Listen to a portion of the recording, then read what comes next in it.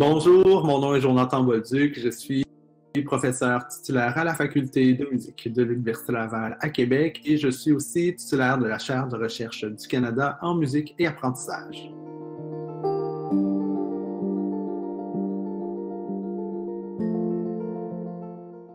Le projet dont on parle est un projet qui est financé par le ministère de la Culture et des Communications du Québec. C'est un projet qui est fait en partenariat entre la Faculté de musique de l'Université Laval, l'IMEP, mais aussi la Maison de disques Analecta, qui est une des maisons de production les plus connues au Québec et au Canada. C'est un projet qui vise à mettre en valeur les enregistrements musicaux réalisés au Québec, au Canada et à leur donner une portée internationale pour leur reconnaissance dans d'autres pays de la francophonie, entre autres. Et dans le cadre de notre projet, ça se traduit par la réalisation d'une partition codée pour des enfants d'âge préscolaire et scolaire pour leur permettre de représenter autrement la musique et leur faire découvrir en fait toutes les composantes de la musique classique.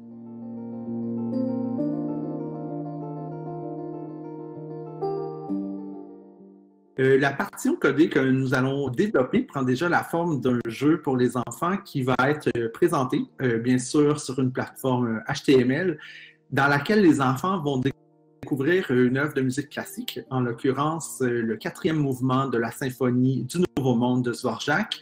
les enfants vont avoir la chance de sonoriser cette partition, c'est-à-dire qu'ils vont pouvoir utiliser des instruments à son indéterminé, par exemple comme des instruments euh, de la famille des bois, des métaux des pots, ou encore des objets du quotidien qu'ils retrouvent chez eux. Le but, c'est d'amener les enfants à s'approprier la partition, d'être capable de reconnaître la musique, être capable de donner aussi un sens à leur interprétation en utilisant des instruments simples dans une procédure vraiment de jeu et de découverte, que ce soit avec leur famille ou encore en groupe à l'école.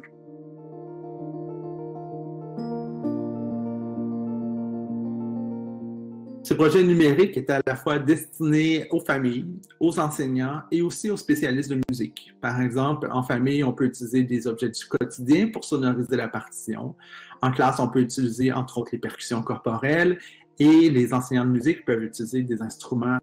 euh, à son indéterminé ou encore faire une analyse plus poussée de la partition musicale. Le but, c'est vraiment de contribuer à mettre en place une nouvelle méthode éducative qui permet le développement de la culture numérique, donc c'est-à-dire de mettre en lien toutes les ressources que peut nous offrir la musique sur le plan de l'écoute, sur le plan de la production, sur le plan d'allier aussi une technologie nouvelle, donc de reconnaître à l'écran des nouveaux signes, des nouveaux symboles qui permettent aux enfants de voir et de comprendre autrement qu'est-ce que la musique.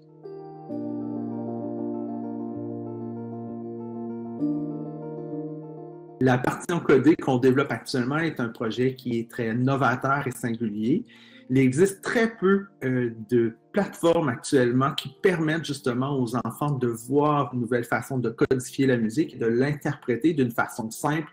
et ludique dans leur quotidien ou soit à l'école. Euh, dans le cadre de ce projet, la partie encodée sera entre autres euh, combinée à un jeu qui s'appelle Mazam, développé par la maison de disques Analecta, qui permettra justement à l'enfant de comprendre quelles sont les composantes de la musique, la hauteur, la durée, l'intensité, aussi l'harmonie, et dans ce cadre particulier-là, de voir qu'est-ce que la forme musicale. Donc, par le quatrième mouvement de cette symphonie du Nouveau Nom de Sborjak, l'enfant apprend à reconnaître quelles sont les parties importantes de la musique, comment elles peuvent être sonorisées et comment elles se distinguent les unes des autres. Donc, c'est vraiment un projet qui innove sur le plan pédagogique parce que jusqu'à ce jour, encore très peu de personnes se sont intéressées à ce type de projet.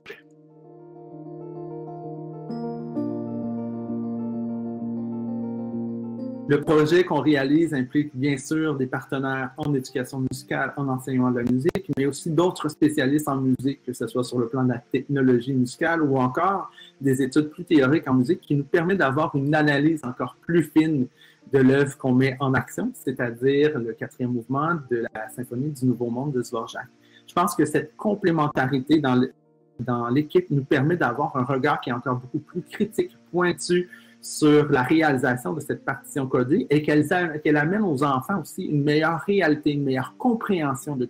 ce que peut être la musique. Donc, euh, tout bien pesé, je crois qu'une équipe interdisciplinaire semblable est utile et surtout nécessaire à la réalisation d'un projet pédagogique d'une aussi grande envergure.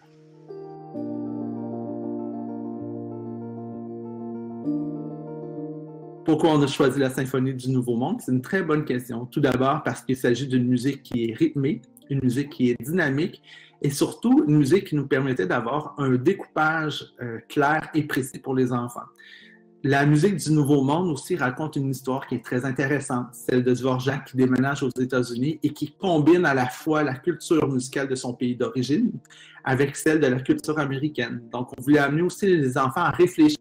sur l'impact de la musique, son impact dans la société, mais aussi à comprendre une œuvre qui est simple sur le plan de la structure, leur permettre de bien l'apprécier. Évidemment, cette œuvre-là nous laisse aussi une grande porte d'ouverture à plein d'autres œuvres du euh, patrimoine musical et ça va nous permettre bien sûr de poursuivre dans ce projet-là en amenant les enfants à découvrir d'autres œuvres qui sont significatives pour leur culture et leur développement personnel.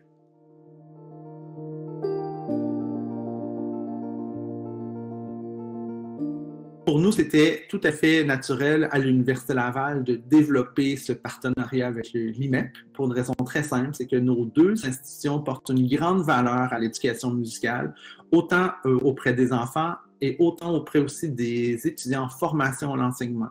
Donc, pour nous, c'était l'occasion rêvée de venir jumeler nos, connaissances et nos compétences en faisant en sorte qu'on regarde d'une façon critique, mais aussi très détaillée, quelle est la part de la musique dans le développement global de l'enfant, des connaissances musicales de l'enfant aussi et comment l'enfant apprécie la musique. Donc, en jumelant nos expertises, on arrive très clairement à développer un produit qui répond aux besoins des familles, des écoles, mais aussi des spécialistes en musique. Et c'est pour moi euh, qu'un début de cette collaboration-là qui nous permettra sûrement d'aller plus loin de voir comment ensemble on peut faire rayonner la musique dans notre société.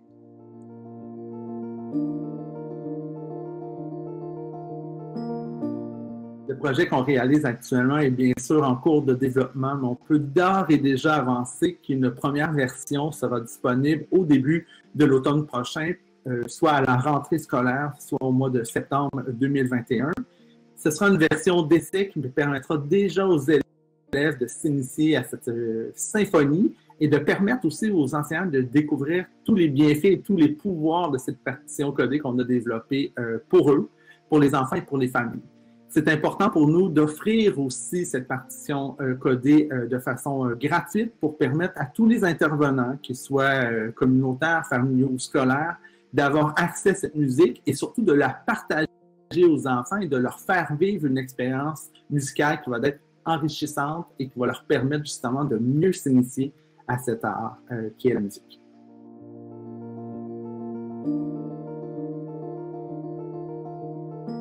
J'imagine que pour la suite du projet, nous pourrons mettre en action d'autres œuvres musicales, que nous pourrons amener les enfants à découvrir d'autres styles musicaux, que ce soit de la musique classique, de la musique populaire ou de la musique euh, qui vient de différents euh, pays, de différents horizons.